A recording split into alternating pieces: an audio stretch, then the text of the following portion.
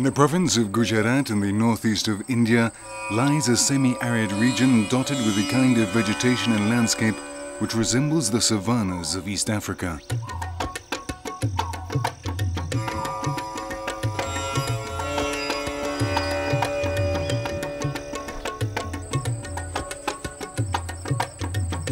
Inland there is a massive 1,883 square kilometers national park, the Gir National Park, which shelters and protects animals which are increasingly under threat from the incessant growth of the human population. This is a reserve for many Indian species, but it owes its status to one species in particular, the most powerful one in the region, the Asian lion.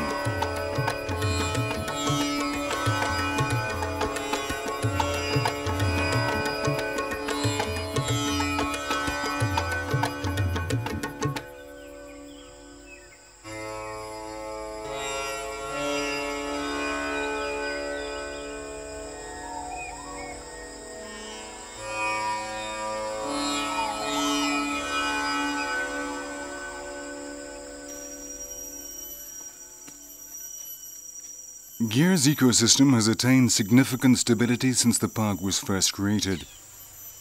Once man's capacity to destroy was halted, its ability to regenerate itself has returned to previous high levels, thereby allowing 32 species of mammals, 26 species of reptiles, and 300 species of birds to thrive.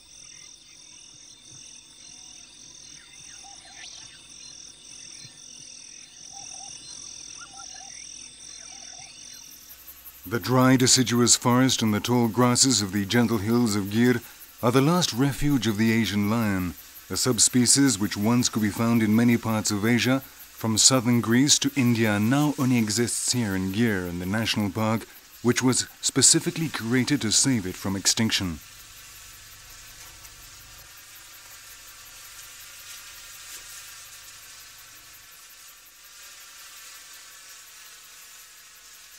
These are the lions which King Assurbanipal of Assyria hunted, as immortalized in paintings and reliefs from Nineveh. They became extinct in Israel in the 13th century, in Pakistan in the 18th, and in Arabia and Iraq. They survived in remote isolated areas up until the beginning of this century. Now, they are rare zoological specimens in danger of extinction. Few people take any interest in them, and most people do not even know that they exist.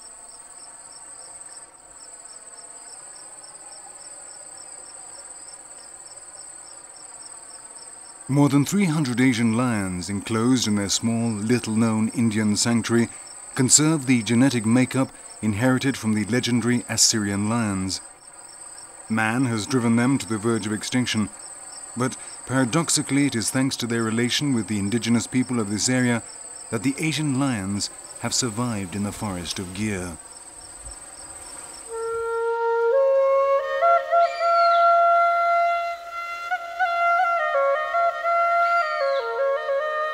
All of this region has a monsoon climate which is very hot during the dry season.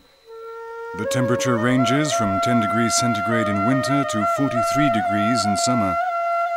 The monsoon rains vary a great deal from year to year, and it is not uncommon for droughts to mark the landscape.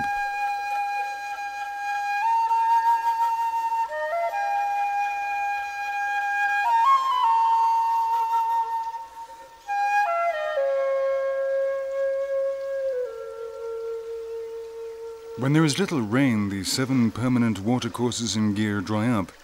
To avoid this disaster, those in charge of the park have built four reservoirs in four of the main rivers.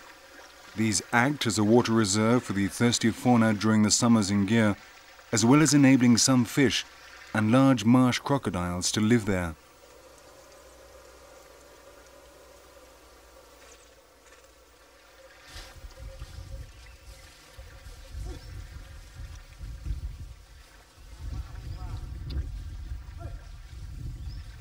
The water does not only maintain the population of wild animals.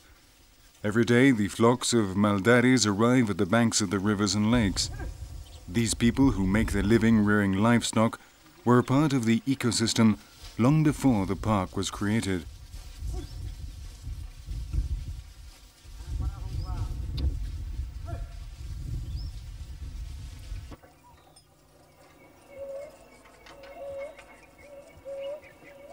The Maldharis live in small settlements surrounded by thorny fences known as nesses. In the past, when the region was rich in pastures and had abundant supplies of water, the Maldharis had large flocks spread out over a wide area. The progressive loss of pasture caused by population increase and the demands of the livestock made the 129 nesses in Gir an imminent danger to the wild herbivores and consequently to the ecosystem as a whole. When the park was created, a large number of the 845 Maldhari families were rehoused outside the protected area, and today there are 361 families housed in 54 nesses still remaining inside the park.